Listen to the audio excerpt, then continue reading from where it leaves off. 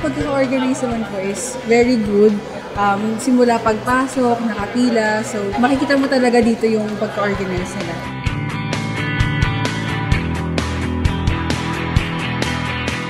Kanina po nung, naga, nung nakapila po ako, may, may mga PNP personnel po, mga security guards.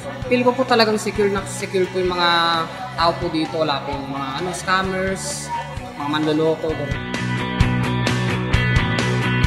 Uh, sa mga, mga wala pong trabaho dyan, sa mga uh, punta lang po kayo dito sa job fair na to. Hindi po talagang makahanap kayo ng mga magagandang trabaho.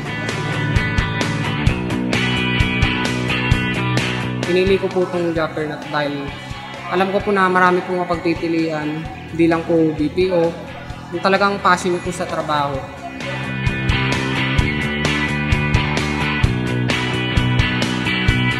Okay naman po, sir. Bali, syempre, iba't ibang klaseng industriya po. Dami pong opportunity, hindi lang po sa kagaya ko, kundi sa mga fresh grads po. Kung job seeker kayo at gusto niyo mag-apply, mag-apply kayo sa Mandus um, job fair kasi um, bibigay nila kung ano yung kung ano yung gusto mo at madami kang pagpipilian. Basta job fair, Mandus Eventus yan. Basta job fair, Magnus Aventus yan. Sa job fair, Magnus Eventus yun. Sa job fair, Magnus Eventus yan. Basta job fair, Magnus Eventus yan.